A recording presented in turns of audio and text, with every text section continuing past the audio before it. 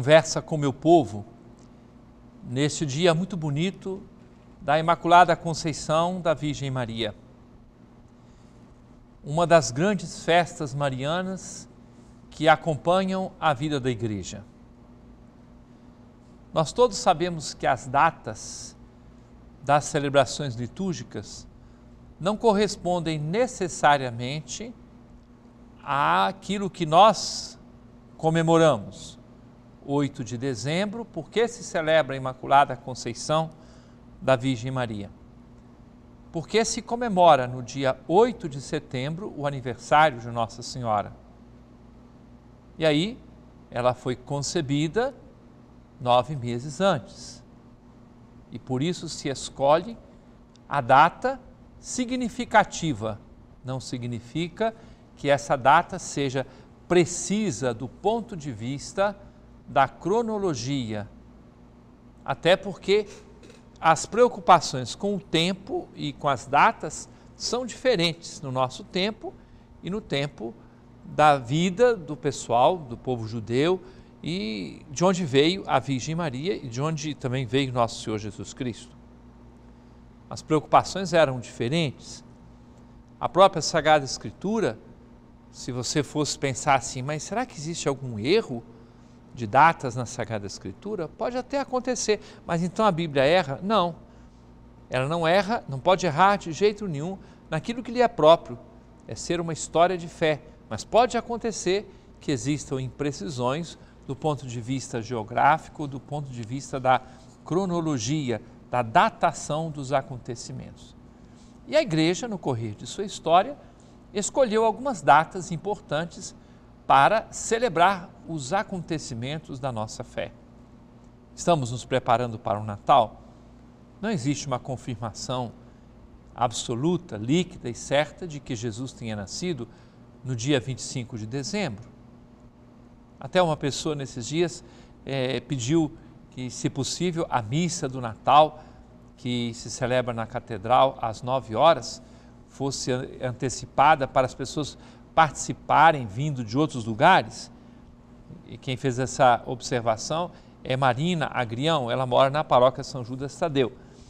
Eu posso dizer que o costume antigo da igreja é celebrar a missa do Natal à meia-noite do 24 para 25.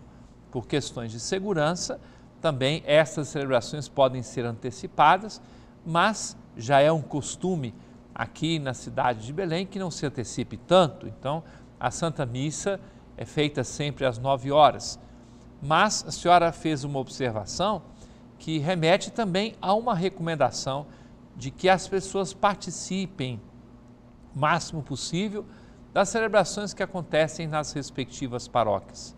É claro que todas as celebrações oficiais nas grandes comemorações que se fazem na igreja, na catedral, são sempre presididas pelo arcebispo.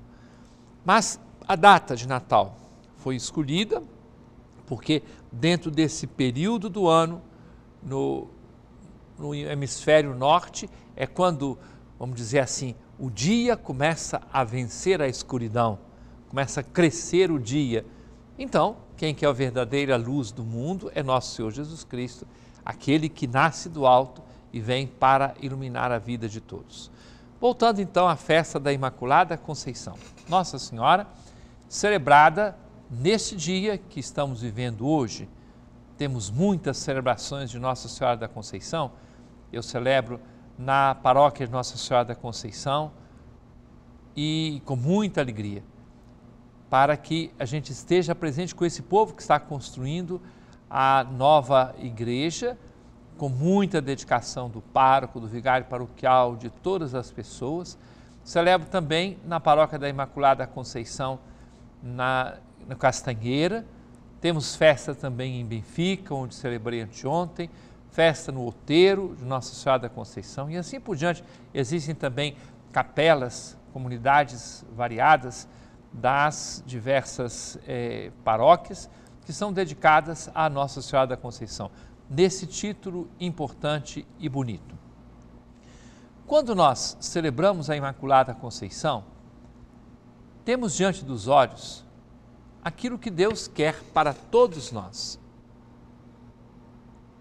Eu fico pensando como nós nos acostumamos com a maldade. Tornamos-nos até excessivamente habituados numa vida que tantas vezes é feita de mediocridade. Nós podemos nos acostumar com a mentira, com a falsidade, infelizmente com os assassinatos. Acostumamos-nos também, infelizmente, com as infidelidades, com o adultério, com o rompimento da vida da família e daí por diante. Nós ficamos quase que anestesiados. A festa da Imaculada Conceição, a meu ver, pode ser entendida como um grito bonito que a igreja faz para que nós percebamos que fomos feitos sim para a plena comunhão com Deus e a comunhão com os irmãos e irmãs. Fomos feitos não para o pecado, fomos feitos para a santidade de vida. Fomos feitos e o Senhor põe diante dos nossos olhos a Virgem Maria para dizer-nos como Ele quer que todos nós sejamos.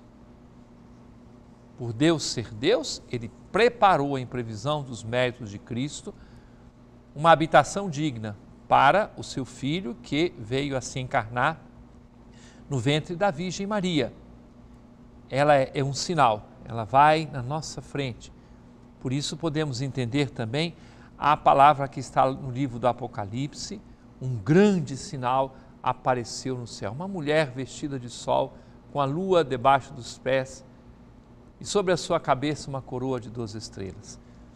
É uma imagem do Apocalipse aplicada primeiro à igreja, mas nós aprendemos com os padres da igreja que tudo que se diz, em geral, a respeito da igreja, se aplica de forma especial a Nossa Senhora e o que se diz de uma forma particular a respeito da Virgem Maria se aplica também de uma forma geral à Igreja.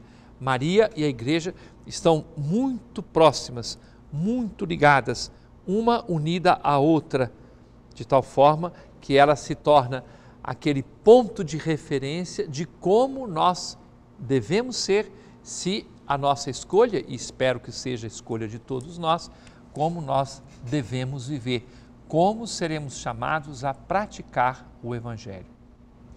Algumas coisas que nos ajudam a caminhar na direção de sermos imaculados e santos pelo amor. Primeira realidade é que essa semente de vida santa já foi plantada em nós através do batismo que nós recebemos. Tornamos-nos templos do Espírito Santo. Além disso, quando nós estamos incomodados com o mal. Há algo em nós que se chama consciência. A nossa consciência grita quando fazemos algo de errado. A nossa consciência mostra, por mais que alguém queira abafar essa voz da consciência, é bom saber que ela é o grito, a voz de Deus, a ação do Espírito Santo dentro de nós, para caminharmos na direção de sermos imaculados olhando para o exemplo, para o modelo da Virgem Maria e contando também com a sua oração junto de Deus por nós, então nós somos chamados a dar este passo. Somos chamados a melhorar sempre, a crescer sempre, até porque aquela pessoa que para já está regredindo, já está piorando. Como caminhar para sermos santos e imaculados? é bom verificar os passos dados pela Virgem Maria. O Evangelho desta celebração da Imaculada Conceição nos mostra o cumprimento feito a Nossa Senhora, ave cheia de graça, aquele elogio que é único na Sagrada Escritura a uma pessoa individualmente, só aquela que é a Virgem Maria recebeu esta saudação cheia de graça, porque Deus a preparou para isso. E o que Maria fez? Escutou e acolheu a palavra do Senhor. Nós poderemos caminhar para sermos santos e imaculados se formos capazes de continuamente ouvir a voz da igreja através da sua palavra. Outro passo dado por Nossa Senhora, que nos ensina muito para caminharmos nessa direção de sermos santos e imaculados, quando Maria foi para Belém junto com José, depois de alguns dias nasce aquela criança, eu sempre fico pensando que podemos ser muito parecidos com Nossa Senhora e São José. Quando existe um relacionamento de amor, de carinho, de dedicação uns com os outros, Deus nasce onde quer que nós estejamos. É claro, de uma forma diferente daquela do Natal, mas não menos verdadeira, porque temos uma garantia de que onde dois ou mais estão reunidos em nome de Jesus, ali ele se encontra. Caminhar para sermos santos e imaculados, estar prontos para enfrentar todas as dificuldades, como Nossa Senhora, que ouviu aquela profecia do sofrimento, da dor, vindo, vinda de Simeão, e ela se manteve firme, corajosa, enfrentou todas as dificuldades. Quando teve que fugir para o Egito, junto com José, ali eu acho que está um dos exemplos mais importantes, porque tratava-se de salvar aquilo que pertencia a Deus e mais ainda o próprio Deus. E Nossa Senhora com José fizeram um esforço imenso, viajando para um lugar distante, vivendo no estrangeiro, passando muitas provações. E aqui eu quero propor a você aquilo que é de Deus. Nada nos faça desanimar de procurar, de valorizar. Nada. Ao contrário, o tempo de Deus, o tempo da oração, o tempo da missa de domingo, a escuta da palavra do Senhor, que não desprezemos aquilo que pertence a Deus e faz a nossa felicidade. São apenas algumas das indicações para que a festa da Imaculada Conceição que celebramos hoje seja bem celebrada e traga frutos para a nossa vida. Daqui a pouco estamos de volta, continuando a conversa com o meu povo. Estamos mais uma vez na conversa com o meu povo. Fico sempre feliz por encontrar pessoas que participam conosco dessa conversa. Nessa semana encontrei várias pessoas que conversaram comigo lá no Bom Pastor pessoas que moram na cabanagem, uma família, e então fizemos fotografias juntos, conversamos e dizendo que acompanham esse nosso programa Conversa com Meu Povo. Muito obrigado a vocês, a todas as pessoas com as quais eu me encontro e que têm acompanhado não só os programas do arcebispo, mas toda a programação do nosso sistema de comunicação na Fundação Nazaré de Comunicação. Porque você sabe que nós temos a televisão, que chega agora à sua casa, temos a rádio, temos o nosso jornal, Voz de Nazaré, temos o nosso portal na internet para acompanhar toda a vida da igreja e para fazer circular tantas notícias boas, tantos dons que nosso Senhor concede a nós que somos seus filhos na igreja. Minha saudação, então, então a todas as pessoas com as quais eu tenho me encontrado e que manifestam esta alegria de participação na nossa programação, nas atividades do nosso sistema de comunicação da Arquidiocese. Peço a você que, seja quando as nossas equipes estão espalhadas por aí e gravando as perguntas, seja como vou fazer agora, respondendo algumas perguntas que nos chegaram por e-mail. Então, tudo isso é motivo para nós fazermos circular a vida da igreja na comunicação que deve se estabelecer entre nós. Pergunta de Sérgio Lourenço, da paróquia da Conceição. Um abraço para o Sérgio Lourenço, um abraço para o cônego Davi Laredo, um abraço para o Padre Jaime, para todas as pessoas. A minha alegria de celebrar a Santa Missa hoje nesta paróquia da Conceição. Diz o Sérgio, nossa paróquia está em festa pois é o dia de nossa padroeira. Tenho um amor todo especial pela Mãe de Deus e Mãe Nossa.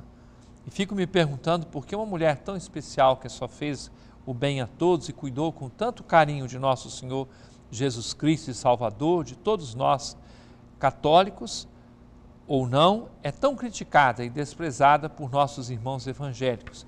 O Senhor saberia me responder?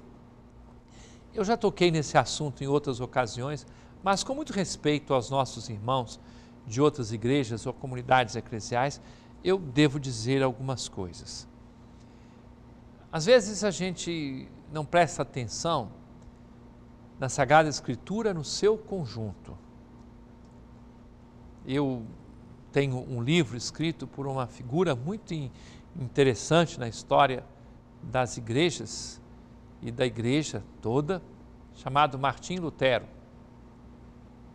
Foi com ele que começou toda essa onda de protestantismo no mundo. Talvez o comentário mais bonito do Magnífica, o Cântico da Virgem Maria, que eu já li em minha vida, seja esse escrito por Martim Lutero. Para dizer que não havia é, rejeição, eu encontrei na Alemanha é, congregação religiosa de origem luterana dedicada a Nossa Senhora. Nas igrejas históricas existe muito menos rejeição à figura da Virgem Maria. Nesses dias eu tinha nas mãos um, uma, um texto, um livro muito interessante, o grupo de Dombe. Então, esse grupo onde católicos e evangélicos se reuniram várias vezes para é, tratar alguns consensos ou algumas dificuldades com relação àquilo que os evangélicos, protestantes e os católicos entendem a respeito da presença e da ação da Virgem Maria. E pessoas que conversam assim com um nível muito bom de profundidade, de oração, de conhecimento bíblico. É claro que alguns irmãos de igrejas protestantes, de igrejas evangélicas, eles têm uma verdadeira ogirismo, uma reação com a figura da Virgem Maria. É uma pena, porque Nossa Senhora não substitui Jesus, antes ela conduz tudo a nosso Senhor Jesus Cristo. Toda a nossa fé, ela vai ao Pai por Cristo no Espírito Santo, mas nós temos a alegria de caminhar nessa direção com Maria e também do jeito de Nossa Senhora, da forma que Nossa Senhora tem de viver, porque ela é modelo da igreja, ela é a referência maior para a nossa vida de igreja. É assim que nós entendemos, é claro, pessoas de outros grupos religiosos poderiam dar é, alguma informação por, através dos conceitos que eles têm. Mas eu fico pensando se as pessoas, na hora da leitura da Bíblia, saltam algumas partes que são tão importantes, tão bonitas, tão densas a respeito da figura da Virgem Maria. Há uma pessoa que tem nome de artista da paróquia Cristo Rei, Michael Jackson Silva. O que é Dia Santo de Guarda? Muito obrigado pela sua pergunta, porque ela toca no dia de hoje. É feriado e é Dia Santo de Guarda. Dia Santo de Guarda é um dia que tem as mesmas características do domingo. O dia em que nós não nos dedicamos ao trabalho, mas ao encontro com a família e, mais do que tudo, ao louvor de Deus. Não são muitos os dias santos de guarda durante o ano. Nós temos o dia 1 de janeiro, começando então o ano. Depois nós temos o dia de Corpus Christi, depois nós temos o dia da Imaculada Conceição. Então são poucos dias santos de guarda. Você vai dizer, mas e a Sexta-feira Santa? Sexta-feira Santa é um feriado, é um dia religioso, mas você sabe que na Sexta-feira Santa não, não se celebra a Santa Missa, mas de quinta-feira santa até o domingo nós temos um, um grande dia, dia que é chamado de Tríduo Pascal, é o tríduo da celebração da Páscoa. E aqui no Brasil, a Sexta-feira Santa é feriado, graças a Deus, e nos empenhamos em guardar esse feriado e de participar na vida da igreja na Sexta-feira Santa. Aqui nós temos costumes magníficos de celebração da Sexta-feira Santa e é muito importante. No dia de Corpus Christi, e queremos mantê-lo, nós temos a celebração do triunfo eucarístico Agora você vai pensar, mas e dia 12 de outubro é Nossa Senhora Aparecida? Dia 15 de agosto, para nós é feriado, mas a festa da Assunção de Nossa Senhora é transferida para o domingo seguinte. 12 de outubro é feriado, mas Nossa Senhora Aparecida não é o dia santo de guarda, no sentido estrito da igreja, não. é feriado, é um dia que nós queremos homenagear Nossa Senhora, queremos participar da Santa Missa, mas não é um dia santo de guarda na lista desses dias que são equiparados em sua comemoração aos dias de domingo. Então fique claro que nós temos o dever de participar da Santa Missa em todos os domingos, nos dias santos de guarda. É claro, deixei para o final aquele que não podemos deixar de comemorar, que é o dia de Natal, que estamos próximos dele. Isso aqui nem precisaria de falar, porque todo mundo celebra o Natal. E o dia 25 de dezembro, dia do Natal do Senhor, é então dia santo de guarda. Este ano vai cair no domingo. O 1 de janeiro vai cair no domingo também. Mas quando não cai no domingo, aquele dia, 25 de dezembro e o 1 de janeiro, são dias de participação na Santa Missa, dia santo a ser guardado. Márcia Regina Tavares. Sou católica, não acredito em adivinhação nem magia. Mas fico intrigada quando vejo cartomantes e videntes falando algumas coisas em que elas acabam se realizando. Será que o capeta, o demônio, se manifesta nessas pessoas para nos colocar à prova? Bom, eu, se eu fosse brincar com as pessoas, eu vou dizer assim: então eu vou verificar no jornal o horóscopo para saber se eu posso sair de casa. Se você começar a fazer isso, você perde seu emprego. Não é? Mas se você ler estas coisas dos signos, você verá que praticamente elas são quase umas iguais às outras. Mas existe uma coisa muito interessante. Eu vou dar um exemplo de, de mãe da gente. Menino, não faça isso que você vai machucar. Será que a mãe está rogando praga? Não. É que a vivência da mãe faz com que ela perceba algumas coisas que nós, ainda crianças, adolescentes, imaturos, não entendemos ainda. Então não é que a minha mãe rogou praga para eu machucar. Não, menino, não vai brigar na rua. Depois eu machuco, né? Não vai correr demais de bicicleta. Depois você cai e machuca. Só para a gente estar atento a estas coisas. Eu não sou muito levado a imediatamente ligar essas pessoas cujas convicções eu respeito, ainda que não concorde, mas não sou obrigatoriamente é, conduzido a levar a uma ação ou a interpretar como uma ação demoníaca. Essas pessoas têm uma percepção e é curioso, em geral, elas dizem aquilo que a gente quer escutar, não é? É a mesma coisa que alguém diz assim: ah, eu tive. É, me, chamei lá e aí o, espírito do meu pai da minha mãe apareceu. Você vai escutar quase sempre aquelas coisas que a pessoa queria ouvir, foi exatamente o que ela ouviu. Aí teríamos tantas explicações vindas, por exemplo, da parapsicologia, que não é o caso aqui, mas é muito interessante quando alguém pode entender um pouco a respeito dessas coisas e ajuda muito para nós desmontarmos muitas coisas que passam por aí, respeitando as crendices, respeitando as convicções de todas as pessoas. Eu prefiro pisar no chão que Deus deu. Da agora até o final do ano, quantas adivinhações, quantas previsões. O que vai acontecer? É, brigas no ano que vem e, e tem algum ano que não acontece? Que alguma autoridade grande no mundo vai morrer. Tem algum ano que não morre alguém de grande importância? Então eu não, não fico preocupado, eu prefiro ficar bem tranquilo, ligado àquilo que nosso Senhor faz para viver um dia depois do outro. Uma outra pergunta, Marina Agrião. O senhor não acha que nas missas de corpo presente, devido à fragilidade da família, os padres e principalmente os diáconos não deveriam cobrar Sei que todos precisamos sobreviver, mas sei também que a consolação de uma oração é muito mais importante para os familiares.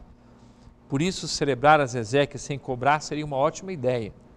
Desculpe estar intrometendo um assunto que não é do meu gerenciamento, mas não gostaria de passar por isso, por isso venho lhe falar.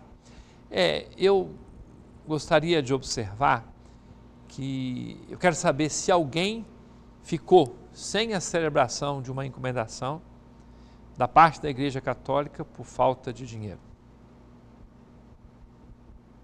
Eu desafio quem quer que seja. Agora, se as pessoas dão uma ajuda, isso contribui para as despesas, para a vida do próprio sacerdote, também do diácono, mas não é por aí. Eu poderia chamar aqui os nossos diáconos, mas eu quero dizer a você uma coisa, Marina, esteja bem atenta para uma coisa. Infelizmente, existem pessoas que estão usando o nome de padres, o nome de diáconos, há grupos de pessoas. Já aconteceu de um sacerdote chegar para celebrar uma missa de corpo presente e ali apareceu uma pessoa que se dizia padre e a família foi enganada. Infelizmente, essas pessoas passam nestas empresas funerárias, oferecem serviços e, ao oferecer esses serviços, realmente as coisas se complicam e usam o nome de católicos sem ser católicos.